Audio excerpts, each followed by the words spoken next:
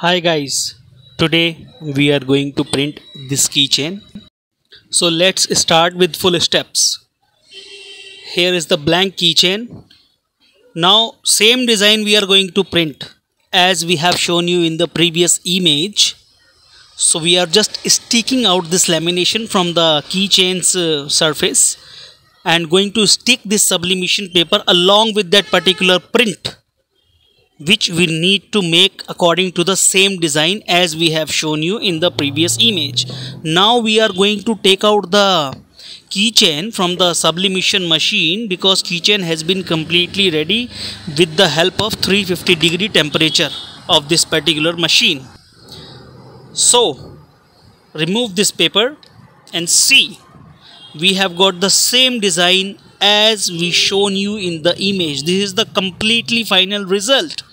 And this is very good business idea also